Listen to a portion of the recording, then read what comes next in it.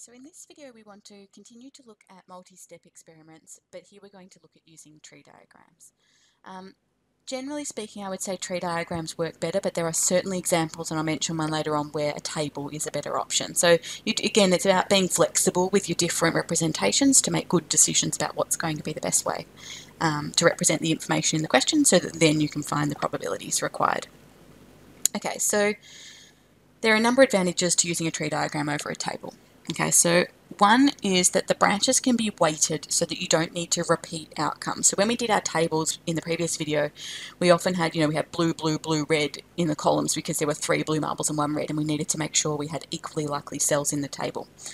Um, we can set up a tree diagram like that too and have equally um, likely branches, but it, we can also condense things by weighting the branches so that we don't need to have such unwieldy tree diagrams. So that's one of the advantages.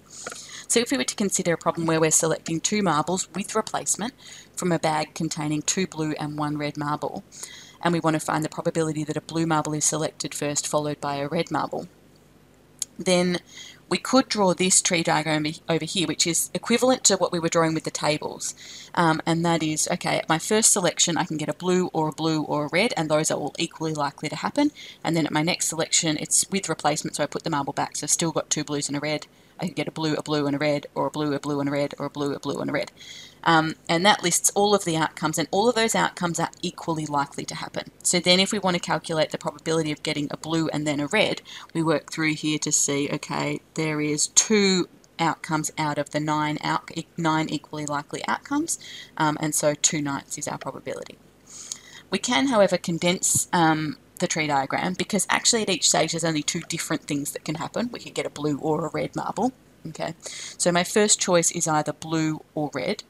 But then, so it's really important, a lot of students I find jumble these around, okay, so it is the outcomes at the intersection. So I, I start from here, I can then choose blue or red. From there, I can then choose blue or red, okay.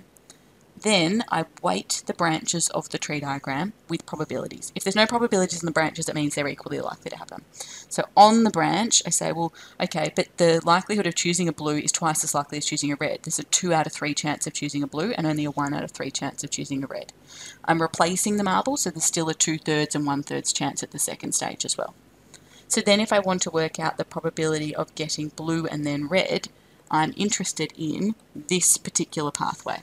Okay, and when I'm working along a tree diagram, along the branches of a tree diagram, I multiply those probabilities together. So it's going to be 2 thirds times one-third, which is equal to 2 ninths. Okay, so it gives us the same answer, it's the same problem, just formulated in a slightly neater triangle, uh, neater tree diagram. Okay, another advantage is that it's very easy to deal with problems where selections are made without replacement. Um, I'm really not that comfortable doing the tables without with the without the replacement. I think it's a bit unwieldy. Um, and it's really easy to do that simply by adjusting the probabilities on the second stage of the branches. Okay, so if we think about the same problem we had before, a bag containing three blue and two um, sorry, no, it's a different problem. A bag contains three blue and two red marbles. Find the probability that a blue marble is selected first, followed by a red marble. Okay, so again, uh, in terms of setting up the tree diagram, the structure of the tree diagram, our first choice involves two options, getting a blue or red, and from there our second choice again involves two options, getting a blue or red. So at the end of the branches is where you list the outcomes. Okay, yep, blue and then blue or blue and then red or red and then blue or red and then red. Those are all the options I'm seeing there. Then, if my branches aren't equally likely, I then weight the branches by putting probabilities on them. So at the first selection, I've got five marbles, three of them are blue and two of them are red. So three fifths and two fifths. Then it's without replacement. So if I've drawn a blue marble out of the bag, at this point here, the bag now contains two blues and two reds because I've taken out one of these three blues. Okay, so I've now got two blues and two reds, which means at the second stage the probability of drawing a blue is 2 out of 4 or a half, and the probability of drawing a red is 2 out of 4 or a half. Okay, if I drew a red marble first, what I have left in the bag is three blues and one red. So then the probability at the next stage of choosing a blue is, um, oh sorry I've got those around the wrong way, haven't I? Can we correct that, sorry? That's a three quarters chance of getting a blue and a one quarter chance of getting a red. Okay. Um, So you you just think carefully about what's happening at that second stage. And then the probability of getting a blue and then a red. The branch that I'm interested in is blue and then red, so I multiply those probabilities together, 3 fifths times 1 half, and that is 3 tenths. The other advantage is that tree diagrams lend themselves very nicely to problems where conditional probability is involved. So if you're given conditional probabilities as part of the description of the problem, absolutely that screams please use a tree diagram, okay? Because actually in the tree diagram, the second stage of the branches, the probabilities here at this second stage, they are all conditional probabilities, okay? Um, so let's have a look at the um, description first and then I'll talk through that conditional probability thing a bit more. So Molly enjoys playing table tennis and is planning to play against her brother this weekend. She and her brother are pretty evenly matched and she has a 50% chance of winning in her first match against him. However, if she wins the first game, her confidence improves and she then has a 60% chance of winning the next game. If she loses the first game, her confidence drops and the probability she will win the second game is only 35%. Use a tree diagram to represent the situation and find the probability that Molly wins the first two games she plays against her brother. So in this question, we're actually given two conditional probabilities. This 60% and this 35% are both conditional probabilities. The 60% is the probability that she'll win the second game given that she won the first game. And this probability is the probability that she'll win the second game given that she lost the first game. Okay? And we are seeing them here in our tree diagrams. In our tree diagram.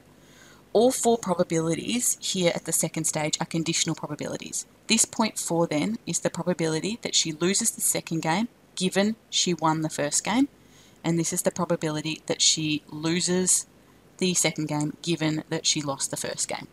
So we've got four conditional probabilities at that second stage of the tree, tree diagram. So if part of the information in your question is a conditional probability, a tree diagram is going to be key.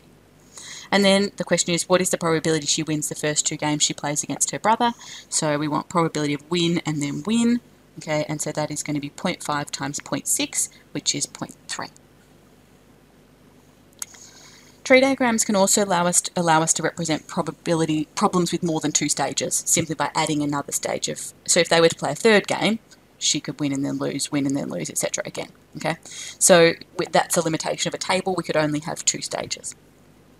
So whilst there are a number of advantages to tree, diagram, tree diagrams, which I've listed above, they don't completely replace tables. And if you were dealing with a problem where a standard die is rolled twice, it's much easier to draw a 6 by 6 table, I know that's a bit tedious, than it is to do a 6 branches and then 6 branches.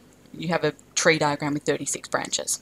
Okay, so um, there are pros and cons to both.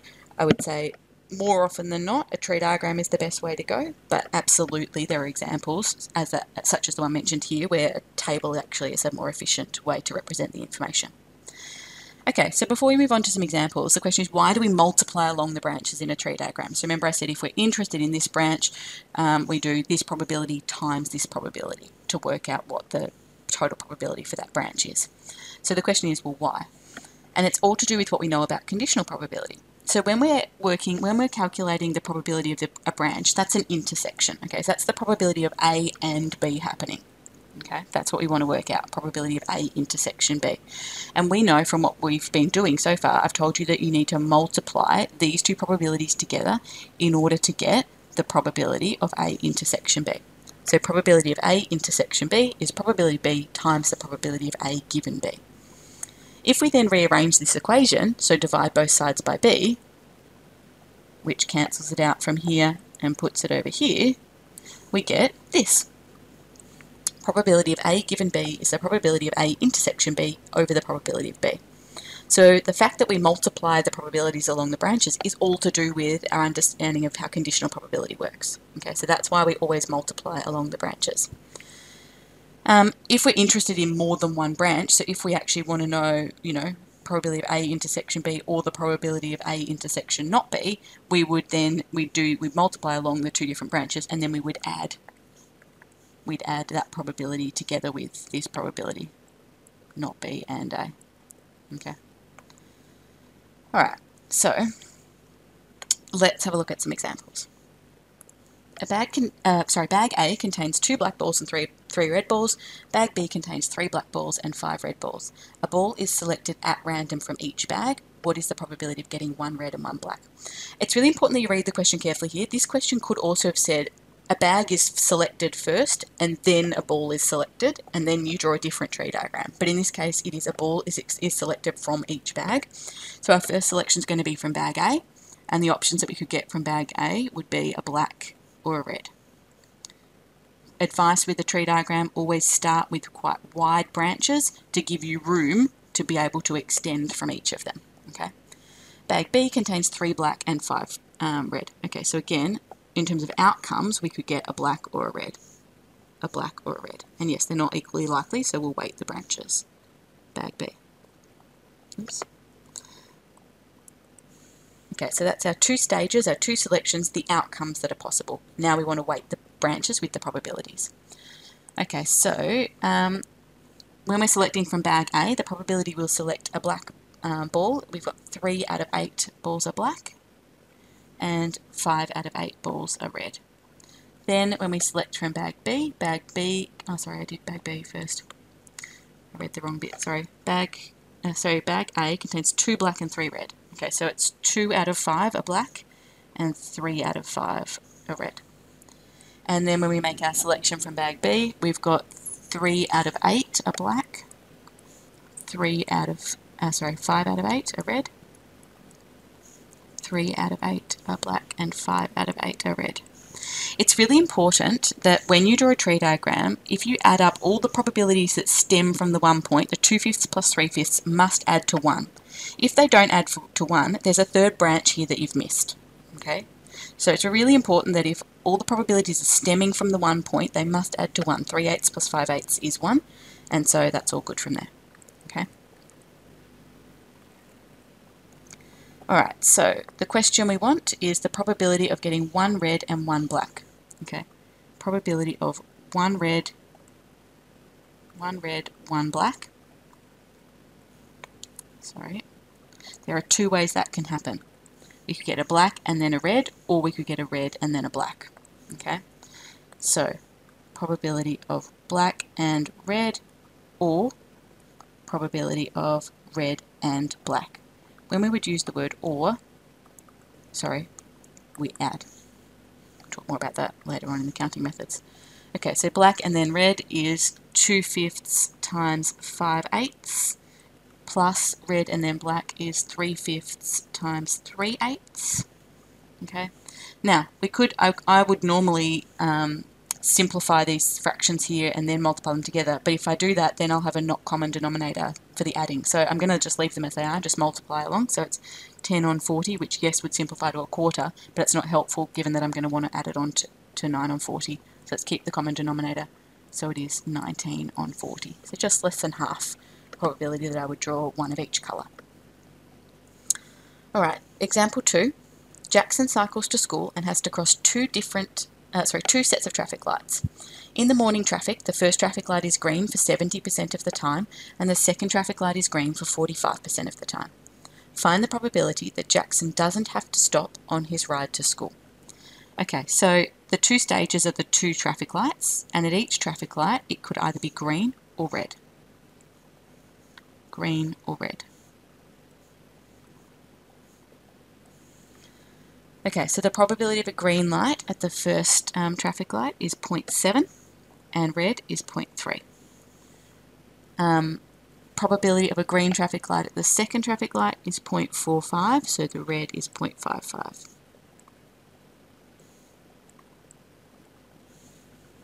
Okay, so that's what could happen. We want the probability that he doesn't have to stop. So that is the probability that he gets green and green.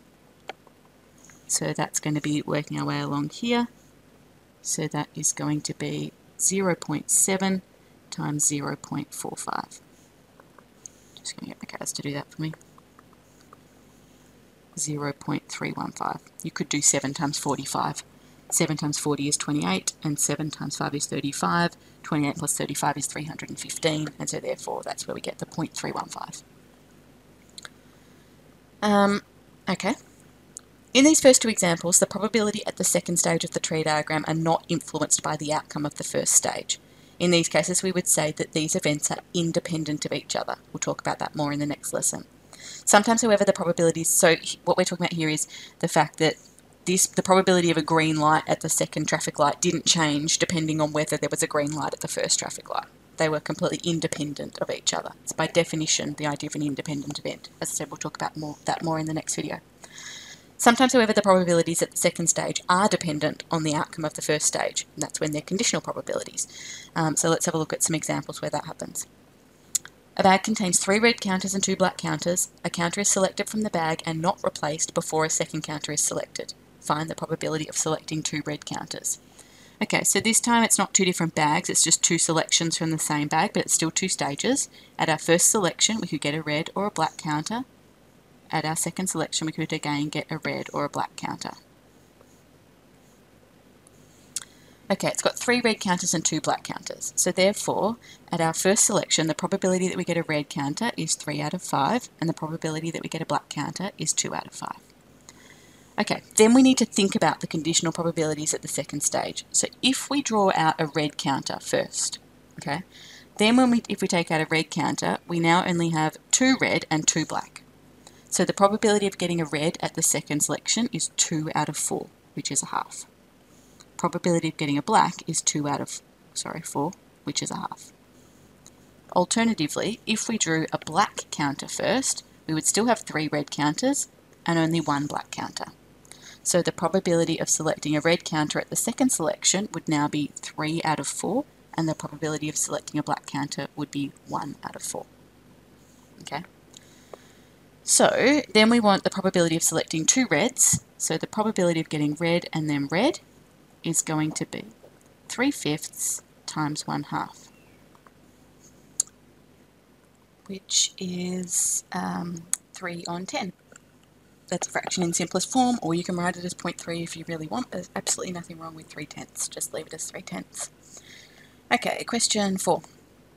Two boxes contain marbles. Box A contains five blue marbles and three clear marbles. Box B contains three blue marbles and three clear marbles a box is randomly selected and a marble is drawn randomly from that box. So this is where it's really important that you read the question carefully. Okay, this time we're not selecting a marble from each box.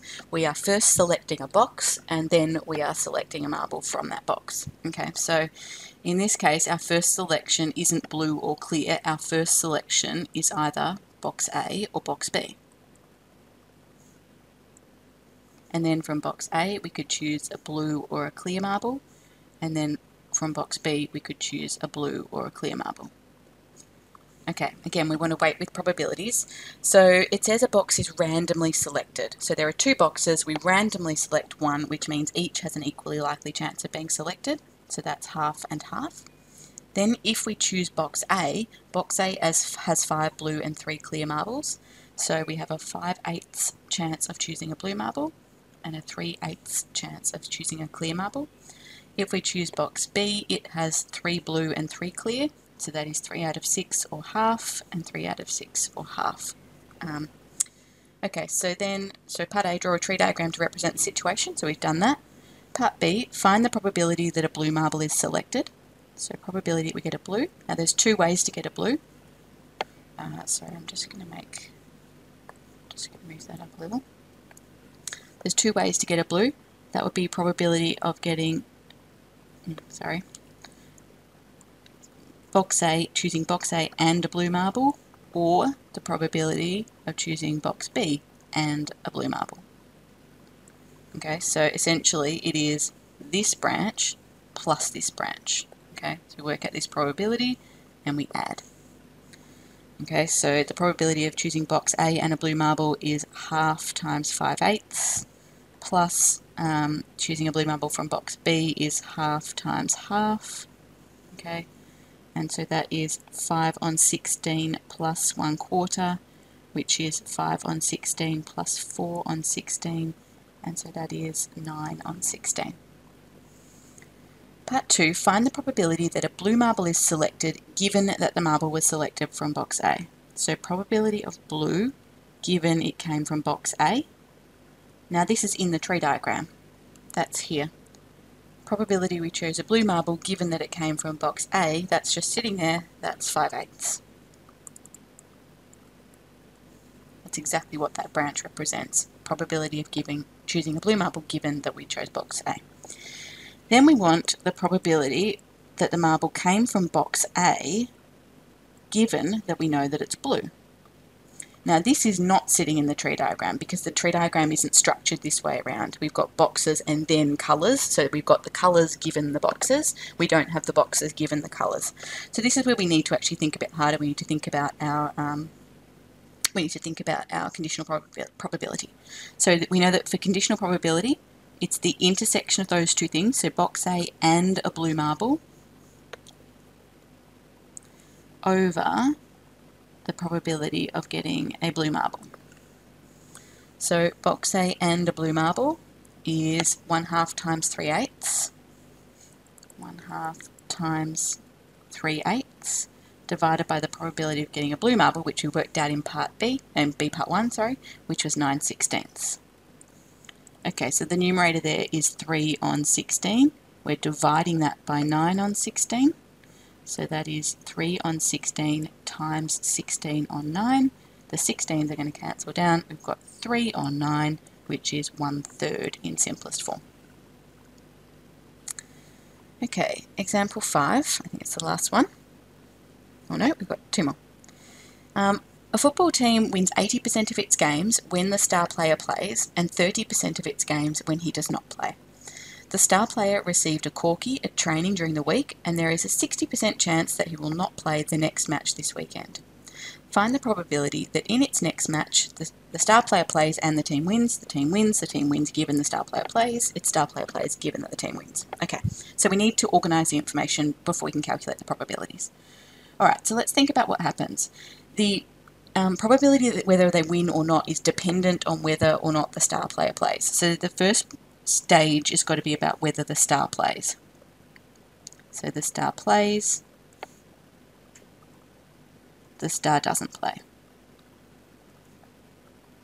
Okay, those are the two options. And then from there, they either win or lose. From there, they either win or lose. So again, it's about organising your information so that then we can answer all the probability questions. Um, it doesn't matter that the question doesn't say draw a tree diagram. We need it in order to answer the questions. Okay. Um, a football team wins 80% of its games when the star player plays. The probability of winning given that the star player plays is 80%. That's that branch there. And wins 30% of its games when he does not play. So that's the probability of winning given that the star player doesn't play. That's 0.3. Now remember, all the probabilities that stem from the same point have to add to 1 which means we can also work out if there's an 80% of chance 80% chance of winning when the star plays, there's a 20% chance of losing. If there's a 30% chance of winning when the star plays, there's a 70% chance of losing. Um, the star player received a corky at training during the week, and there is a 60% chance that he will not play. So probability that he won't play is 60%, therefore a 40% chance that he will um, play. Okay, part A, the probability that the star player plays and the team wins. Probability that the star plays and the team wins.